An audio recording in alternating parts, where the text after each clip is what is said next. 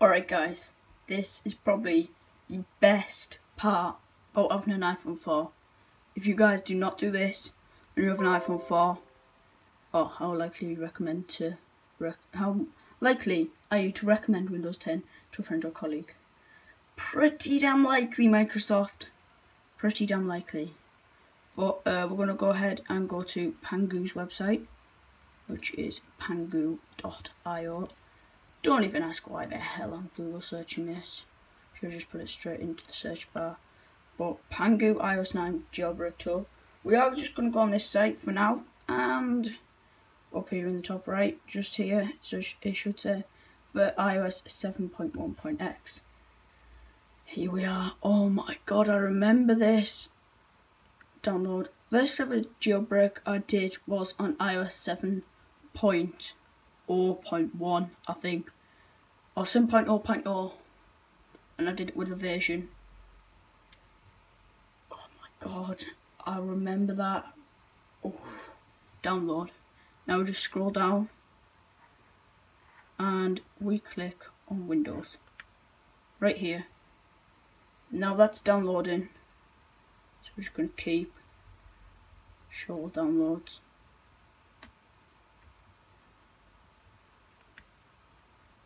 Oh my god, I'm going to time lapse the download. Oh my god guys, it's happened. Here it is. I've not been jailbroken for ages. So I'm just going to go ahead, open up the file.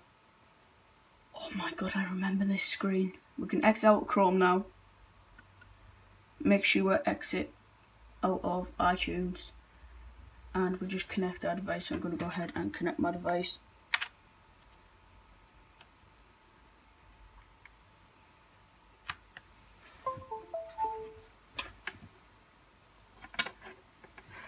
And my device is connected.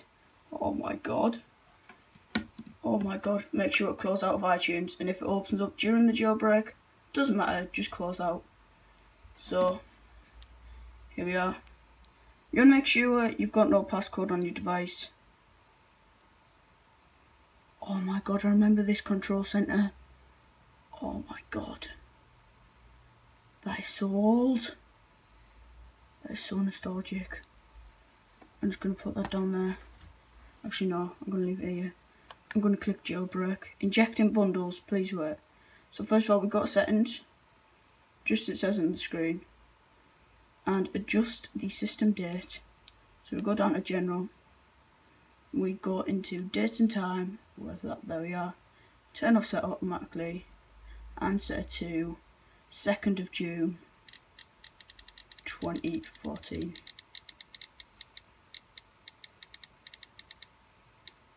so that is 2016 still you need to scroll back quite a bit but not too much. What is this? 2015.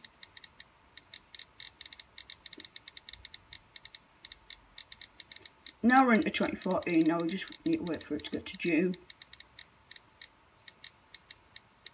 And it is the 2nd of June. So, there we are. 2nd of June. Now just go home. Just like that. Start injecting the bundles. Please wait. Oh, there's a Pangu app. Oh my god, I remember all of this. Oh my god.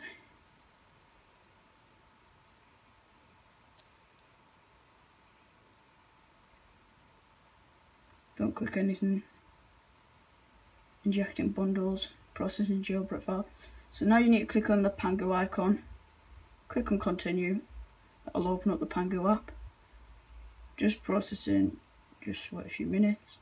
Keep the device connected and do not close the app. So I just want to leave it like this. Oh my gosh guys, I can't believe it. I'm going to be jailbroken again. Processing, just wait a few minutes.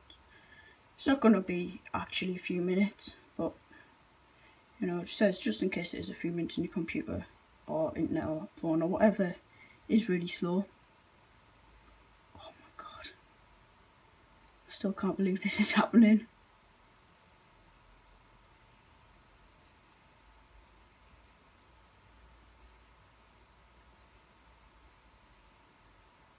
My arm is starting to kill holding the phone up right here. I'm just to hold it up right there.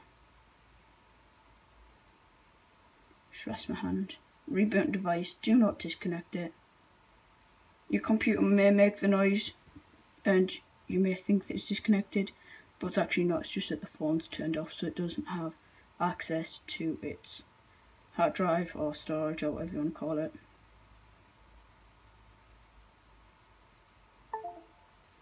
That my computer just made that noise. Ooh, this is the point where on like iOS 4, most people, I have actually jailbroken iOS 4, it's just my first jailbreak. It was iOS 7.0.0, 7.0.1. But this is the point where most people, back on iOS 4, I've actually jailbroken iOS 4 before, and it did fail most of the time, but you just had to wait and hope that it was actually going to turn on. iOS 7, iOS 8, iOS 9, hopefully the iOS 10 jailbreak, everything's just going to be fine, and I know it wasn't iOS 7, 8 and 9, but we just need to close out of iTunes just as quick as possible. There we are.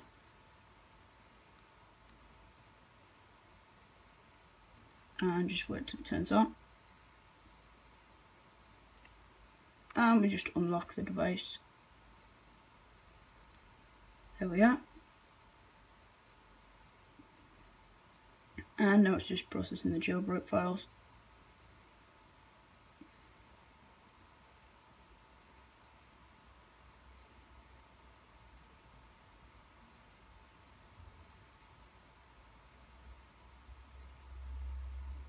storage almost full, we can go ahead and click done. It's just a glitch that happens. That's how it makes um, the phone or iOS gives you root access. It just does a little glitch and finds an exploit in the storage bit. The Pangu app's now gone and your phone will reboot again and it is done. I'd recommend don't unplug your phone until it has actually come back on because otherwise you may risk something dodgy happening and you may lose your files and your jailbreak. I've gone ahead and wiped my phone completely before even starting the jailbreak so I'm safe but make sure you back up your files just in case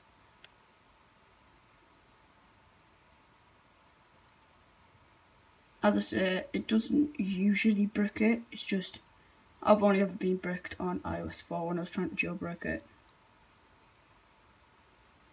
iOS 7's always been fine. I did jailbreak on iOS 8.3 and 8.4 and I did jailbreak on iOS 9.0 and 9.1 but then I went ahead and updated to the iOS 10 beta because I thought bit is probably better because you got all these new features, but I did actually regret that. I'm glad I've got this. I'm glad I got the jailbreak on here. The thing is, it does take ages to boot with the iPhone 4, no matter if you're jailbroken or not. Just go ahead, close out of iTunes. I've actually got a croaky voice now. and it will just sit on Pangu there, already jailbroken once it reconnects.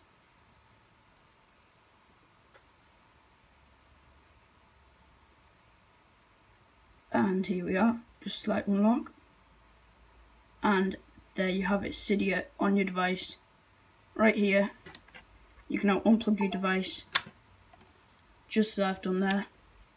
I just unplugged.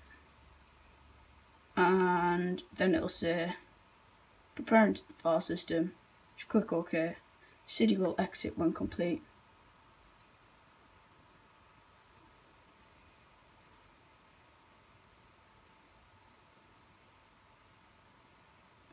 We are, taking me to this screen. Just want to exit, go back onto Cydia. Preparing file system. Cydia will just glitch out, just glitch out Cydia once it has actually installed the file system.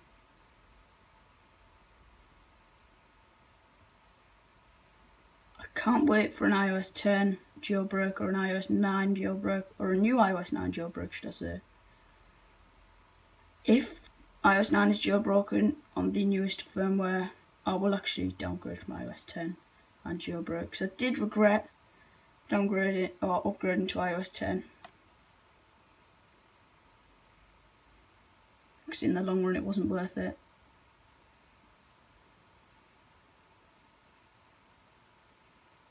It does take quite a while to prepare the file system on Cydia.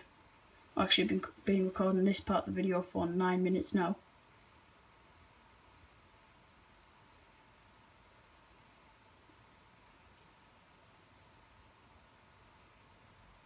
I will actually be making quite a few Cydia tutorials and jailbreak tweak tutorials and stuff in the future. As you can see this is an iPhone 4. I'm not sure officially how you can distinguish between iPhone 4 and an iPhone 4S but this is the 4. Something's happened there. To get like a little, you guys might be able to see there. There, something's happened up there because it's not as it should be.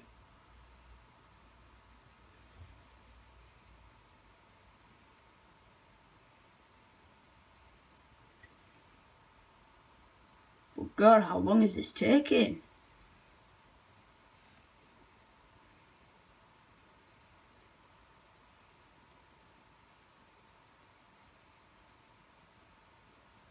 There we go, it's exited and rebooted right now.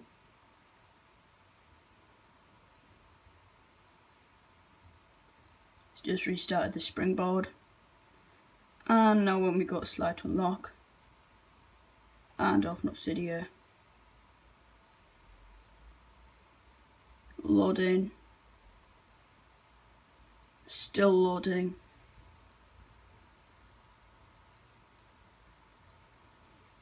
And here we are we've got Cydia on our device. We can now install tweaks install or add sources and everything like that.